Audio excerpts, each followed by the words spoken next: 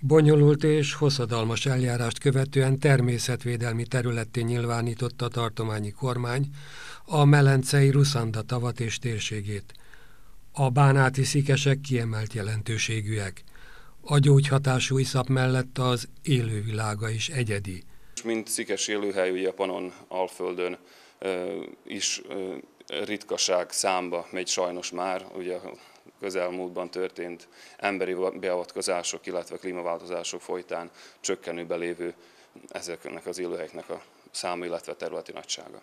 A tartományi kormány rendelete szerint a Ruszanda tavat is magába foglaló, mintegy 1160 hektár terület másodrangú természetvédelmi területnek számít – Nadam se da je ovo sada početak i da ćemo narednih meseci u skladu sa studijama Pokrajinskog zavoda zaštite prirode koji ih je izradio i predao našem sekretarijatu takođe promovisati neka nova e, zaštićena područja na teritoriji pokrajine. A bánáti gyógyfürdőben az iszapon kívül alkalmazzák még a 32 fok hőmérsékletű forrásvizet is.